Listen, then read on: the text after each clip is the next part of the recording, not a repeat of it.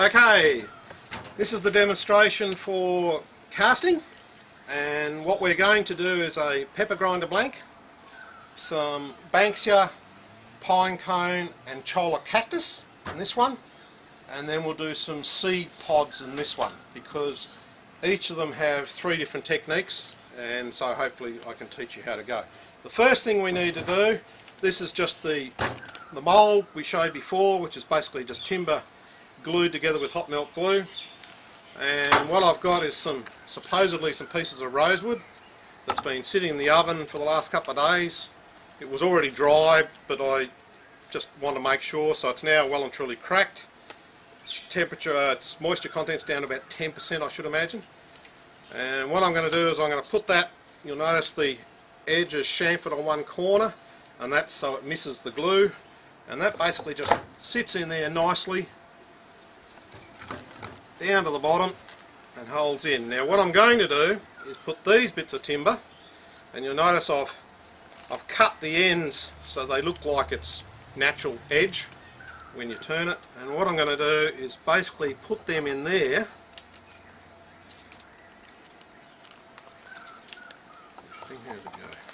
Yep, that's the way. And that I will then glue in with some hot melt glue, which is just here and that'll keep it in place. And it'll also keep the bigger bit that's underneath from floating. So we just leave that there and stick it in. Doesn't take much glue. As to sink from the main box you want to use lots of glue because you do not want it to leak. Just leave that to dry and cool down the whack the, the glue that is because uh, that's the last thing I'm going to pour. It doesn't need pressure, uh, well it does, but the pressure pot does not is not big enough for that. So what I'm going to do is a multiple pour. So I'll pour some in, and then after a while I'll pour some more after it's got initial set. Because you don't want to pour more than about 300 ml at a time, otherwise too much heat is generated. You'll notice on the table here I've got a a heated ultrasonic uh, cleaner. Um, you don't have to. Look, heat up the resin to about 25 degrees. What this does is heat the resin and vibrate it to get the bubbles out. Now, I've had this in here for about 15 minutes now, and you'll see the, the resin's nice and runny, just the way I like it. So we're ready to go. Now what I'm going to do is I'm going to mix it in separate containers because I'm going to be playing with different colours. So we'll start with this one and actually start with that one better. What I'm, John has asked me to do a, a fluoro lime um, pine cone. Pine cone. So I'm going to do the Banksia, the pine cone and everything which would go under pressure using this lovely stuff. So what I've got is some Pearlex powder uh, this is actually a, what they call a, a clear or transparent Pearlex powder. Um, I can't remember what they call it, but I actually buy it in bulk from a makeup artist. So, and it's called JNI 2022, whatever that is. Um, but it's basically, it's got a slight milky tinge to it. And uh, what I'm going to do is pour a bit of resin in here. It's nice and warm. Okay, a fair bit of resin. now, probably a bit too much.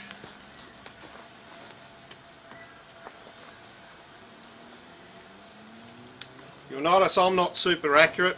Um, I'll work out what's near enough is good enough.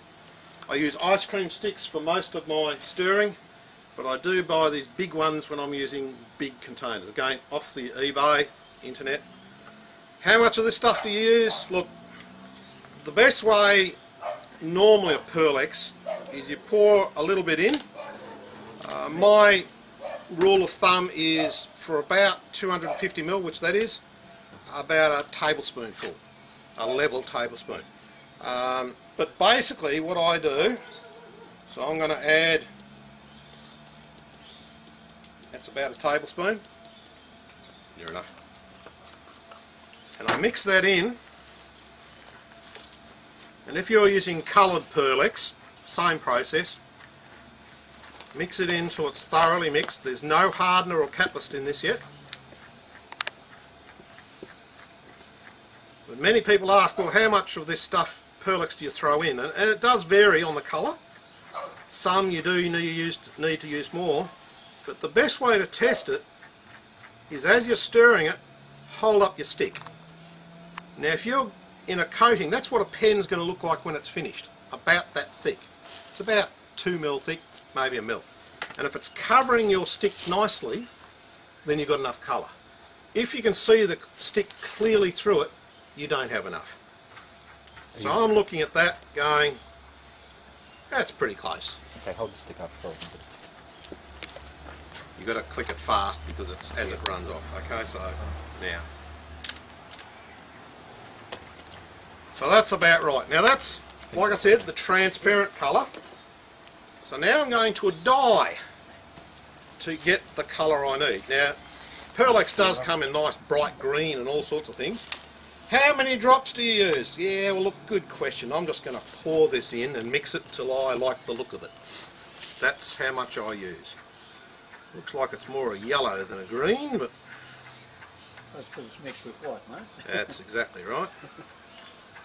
But you can see there that's nowhere near enough. So I'm going to keep on pouring it.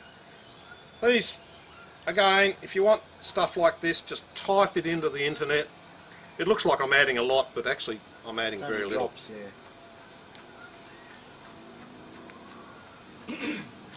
Again, mix it till it's nice and cool. translucent pigment, is it? That's a translucent colour. the It's a translucent colour. There are solid pigments. Um, basically, if you look at what I've got, It's going to add something else to that. I've got got some various Pearlex colours Yeah, yeah. what it was, yeah. that are in there. Uh. I did and end up getting some of that. various solids, dyes, I haven't used it yet. you name it, I've got it. So, I reckon it'd be good for. Um, and I've got, oh crap, um, and I've got probably got another three containers inside. These days I buy it in bulk in a large container, which is just spilt down there on the side. Can you pick up the big packing container? Highly professional here this is.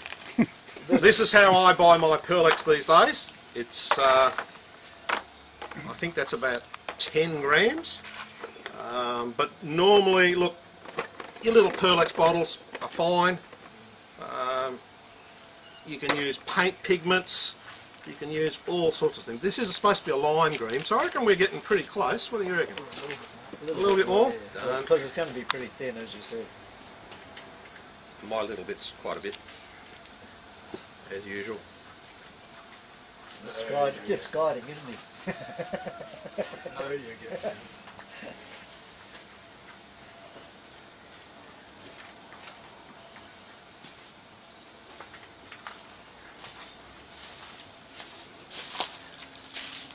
So why would you use um, white Pearlex instead of white? So just ordinary white? Because it, cause it'll still glitter, will it? It'll still glitter. This will glitter and swirl. Like you'll see that day, nice. It will still swell the colour. Yeah. But uh, I use the the clear stuff. The white will turn it a cream colour, uh, whereas this clear, it still has a white tinge to it. So unfortunately, it's very hard to get a red glitter. I'm actually trying some from, would you believe, a cake manufacturer in Europe just who sells a food safe red product that looks like So you can eat that. Pearlex. Yeah, you can eat it. Uh, they actually use it for decorating Christmas cakes, so I've got that on the way. And uh, if it's successful, I'll post a link. The guy will probably sell out before next Christmas because of all you casters out there. But I reckon that's pretty good. Now, for 250 ml of resin, you go normally go at 2% of the activator, which is the methyl ethyl ketone peroxide, or MEKP. Uh, this stuff is dangerous shit. Uh, no joke, one drop in your eye, you're blind.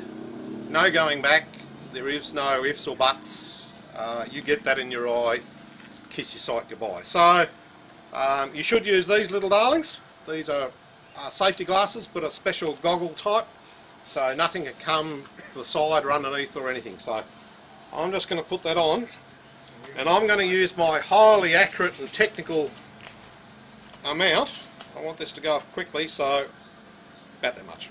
Yeah, sounds good. It should be for that amount. What is it? Five mil. And I think I put in how, about how much ten you got there. in there? It's 250. Two I think I normally put about six or seven drops in for the, the 30 mil. Thirty mils, yeah. Yeah, so So- 60 mil, yeah. Now, with this product, what you do for these particular casts, you pour some in. Oh God, that's a lovely colour.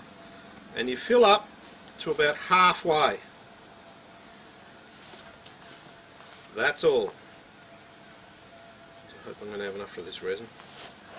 Yeah, you will. Yeah, actually. Should do.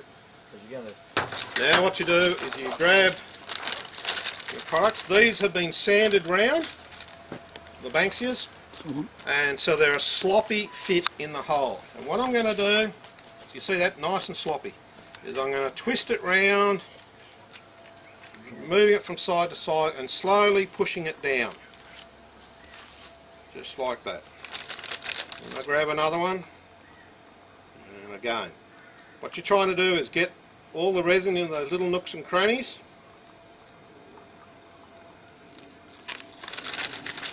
Don't worry if the stuff doesn't ooze out the top, not a problem, because you're going to pour some more in from the top.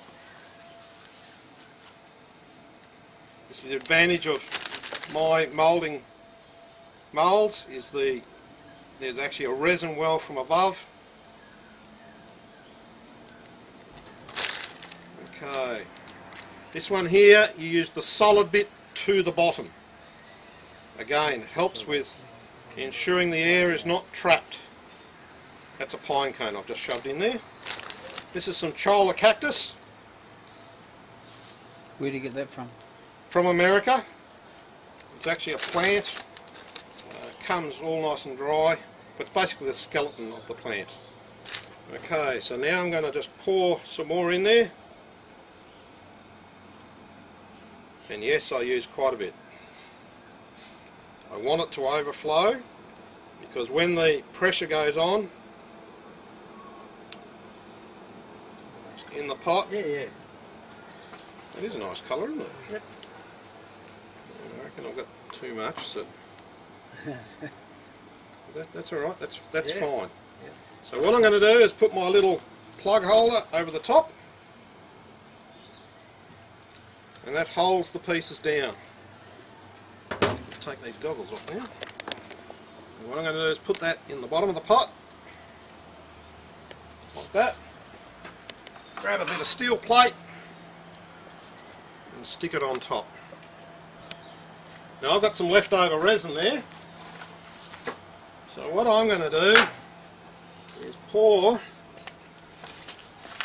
that leftover resin into my little leftover thing. What I'm going to do is basically stack these, these are cedar pods, stack them vertically.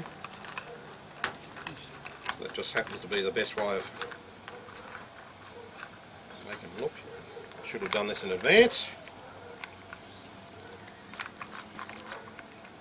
What I want to do is jam them in so they can't move.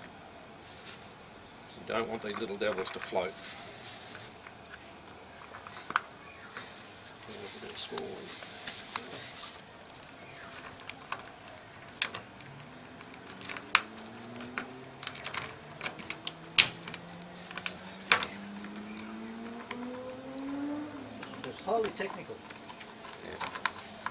them a little mangle. Well, this is what happens in real life. Not like on YouTube. Everything's perfect. Okay, so there they are, jammed in so they can't move. There's not much resin in there. What I might do is, I'll start that going. I might get a dual colour one going. Uh, second thoughts, no, I'll just add a little bit more. This is where you've got to be quick. Because it's starting to go off. So it's already starting to go off. highly accurate.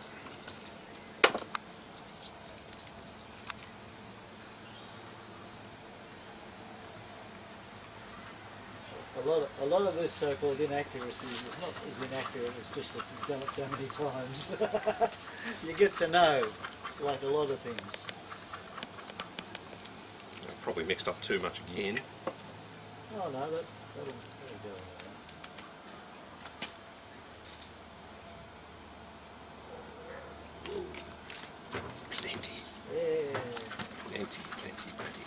You'll see I'm not worrying about the air bubbles. It, it is what it is.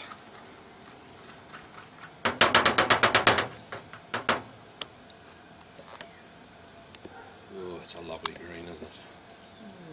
That's going to be Paddy would love it. pretty good for three blanks. That'll be almost perfect.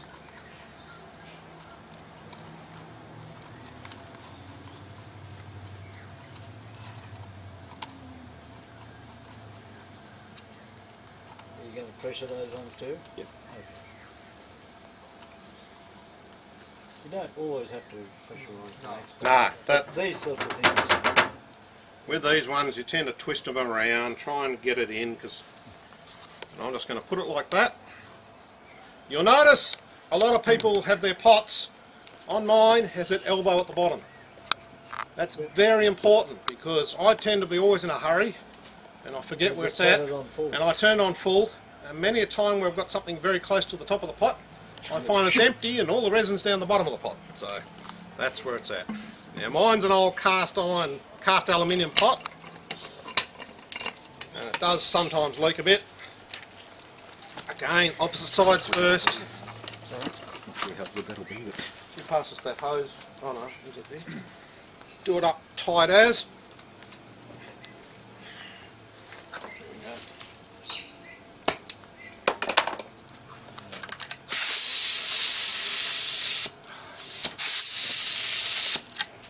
Get to it. I need my strong hand, that's not it. Yeah. Here you go. It's got my glove as well. Slowly. Yeah, slowly. Yeah. Boom, on. We're done. So that one's done, ready to go. Now what I'm going to do is these other seed pods. Now these ones, yeah, what colour are we going to do them in? These are actually she- she-oak pods, collected from down the beach. Again, dried in the dehydrator overnight, or after drying for quite a few months in the, the room. You want to do a coppery I'll colour? light your way when I do. Coppery colour, sounds good. Let's see if I've got one first. Yeah, yeah. Now that's I'll leave it. That's pretty good. I don't mind because uh, again I'm only going to the blank size is up to the top of that layer so this is overfilled so that's pretty good but what I want to do is I want to mix it in a decent sized jug I'll have to heat up some more resin actually um, what I'm going to do is that's going to take about another 250 or 200 mil about that much. What I want to do is I want to start heating up some more for the big pour.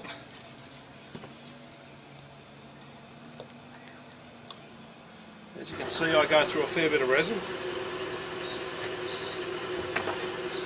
I'll start that one heating up.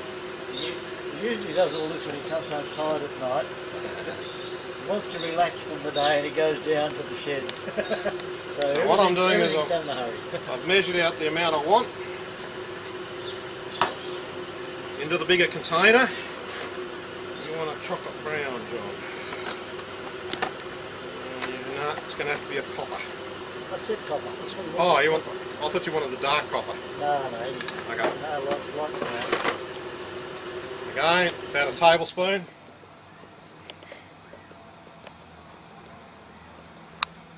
This one you will be able to see the stick. I think I'll get a fresh stick. I'll use a wide stick and this way you will be able to see what I'm talking about.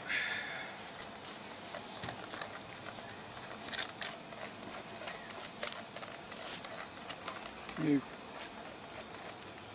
You. Tilt it this way. Tilt. Right, so you can see that's a lovely copper colour. And when we lift up our stick, look at that beautiful coating. and you can't see the stick underneath. So that's what you want. Again, we go back to this. Yeah, I better do the right thing. Highly technical measuring. About that much. Can you grab another one of your pots because I'm going to actually use it. Yep, yep. Well, actually, I can, I can just pass it down, can't I? This pot here is leaking a bit, unfortunately. Okay, now what I'm going to do this time is I'm actually going to pour. Uh, damn, lost a few. Such is life. That'll do. And what I'm going to do is I'm going to mix these in. What I'm doing here is trying to get them all nicely coated.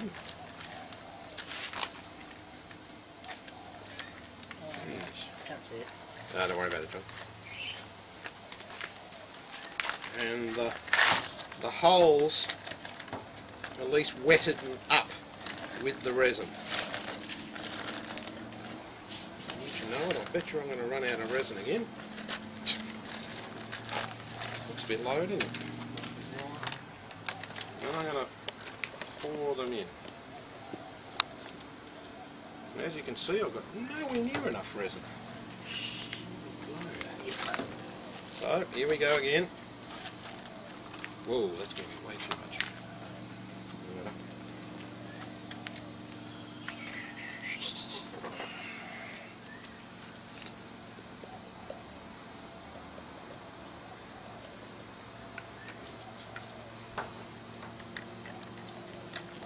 I that mould only took 250, but obviously my memory's gone. Uh, well, so probably 600 for that. Like, Definitely going to need some more.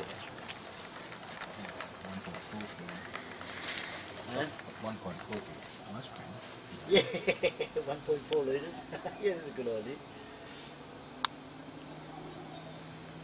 I mean, right? You could you could make that into a mould if you wanted to. Stick some, stick some. No, I was thinking of the comparison between the Oh, that's the one I yeah, was no, just The ones that take 250 of those little ones over there. Yeah, see, you're still in the front shop. Uh, it's going to be pretty close actually. Poke, poke, poke them down and Yep. level them off, and we'll go close. Yeah, it's already above the blank size point. So most of this is going to cut, get cut off anyway. Doing that under pressure, it'll shrink a bit, though. Yep. Yeah. What I'm going to do is I'm now going to lay this stuff over the top.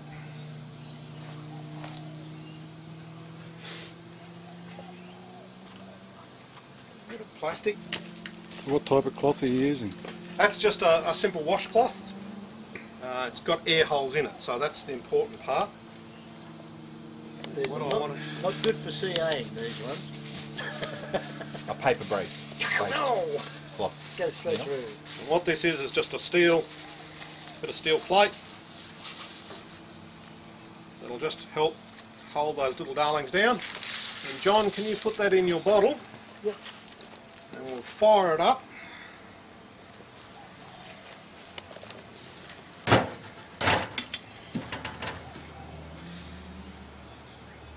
Nothing else in that one? Okay.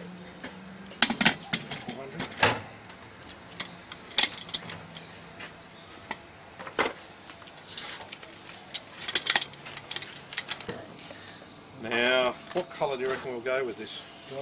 Gold would go well. Now, there's a bright yellow. I might throw a little bit of fluoro in as well, just to make it fun.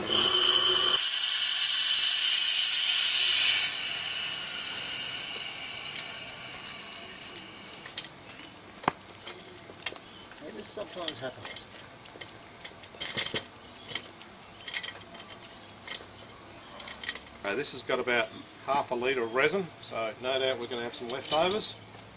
So we may be pressuring up another pot with something else.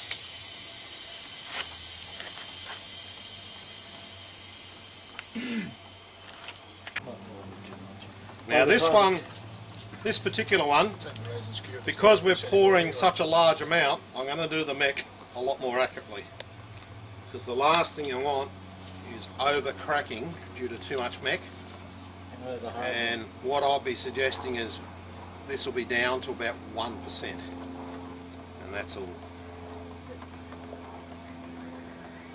What I'm going to do is actually, this can't fit in the pot, but we need some vibration. Normally I do it on my bandsaw table, but we can't do that today because the bandsaw is right at the back of the, the shed. So we're going to do it on our scroll saw table, just for something different. I've turned the blade round so I'm not going to cut through my mould and that'll give a nice vibration which is what we need to get this going. So again, test the spoon, you've got a nice yellow coating which is exactly what we want but just to be different I'm just going to add a little bit more oomph to the yellow with some fluor if it comes out. The water truck on. This is going to be ultra bright yellow. I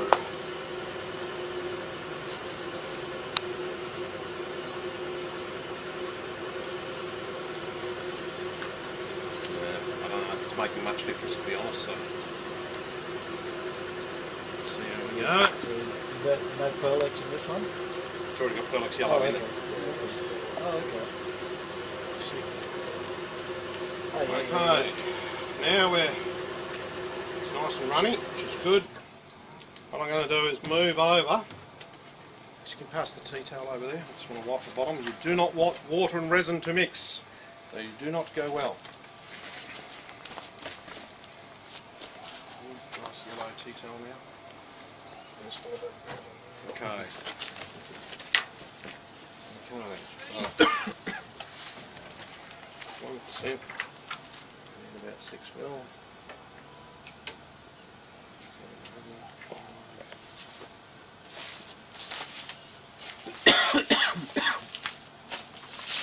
Okay, brilliant.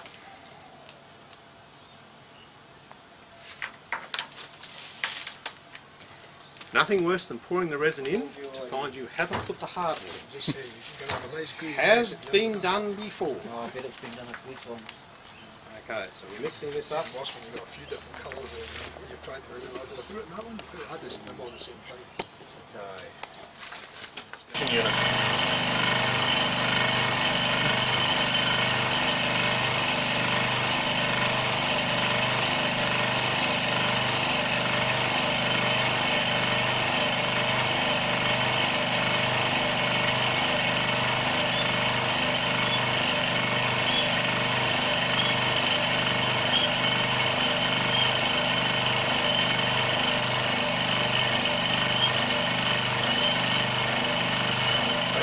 You what, the pour tomorrow is not going to need much. Not going to need much, no. You see why my pepper grinder blanks cost so much? A lot of resin. Now you see the vibration on that will lift all the bubbles. Put your hand on it, feel it's vibrating nicely. And the wood's so dry, it'll be nice. See how much that shrinks tonight? I will turn off the vibration once we have settled in and it's starting to gel. How long will that be? And it's still bubbling, so 20 minutes? Somewhere in there. It's still It'll- bubbling. It'll probably be a little bit longer because it's less of a less of the MEK. Yes, but because there's more volume, it creates more heat and it actually goes off quicker. More you have volume you've got, the faster it goes. What I'm using is the, your breath actually explodes the, the bubbles that are up here. So what I'm doing is I'm just blowing on it. Normally use a straw is a good idea, but be careful with a straw that no spit comes out because then you're in real trouble.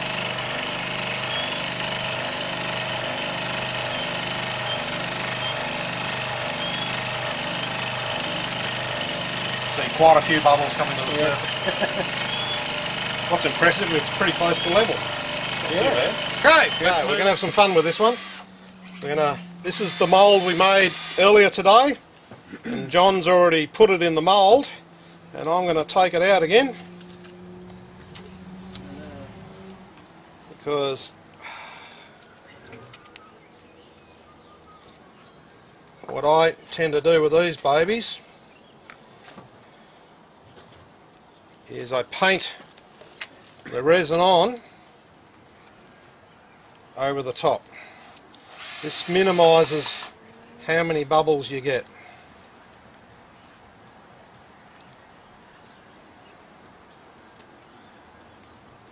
Because well, otherwise the bit underneath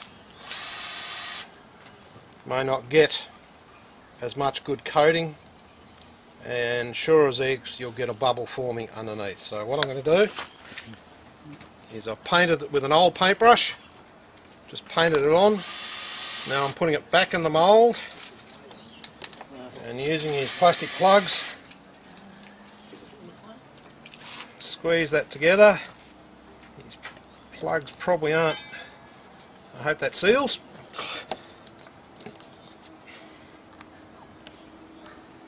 And what we do is we just pour the resin over the top like that. And we're done. No need for pressure, nothing, just just like that, we're done. And we just leave it to set. Why The no, other one we're going to do, why no pressure? because there's no bubbles in that, and pressure will only reduce the size of the bubbles, it won't remove them anyway. Uh, vacuum it what you want to do, but you can't vacuum a blank like this because there's air in the tube. So we just leave it and set. Likewise with the copper setting, this one I'm, I'm very sure we don't have enough resin. And, but again, what I'm going to do with what I've got is paint the blank with resin. And what this does is it gives you a nice coating and gets avoids the bubble problem that you will have, especially with cables. Just a piece of fine wire. Inside, mate, hang on. Bear with me. That's another carton. Mobile phones, I don't know. No, The mozzies are coming and it's getting dark. I don't know. So there I, I've got that nice and coated. So the resin's sticking to it and coated. So what I'm going to do is put that in its mould, just like that. And then I'll pour that resin in there and it's going to be nowhere near enough. Just go and mix up some more. Well, that's good because we'd be just about ready for this one.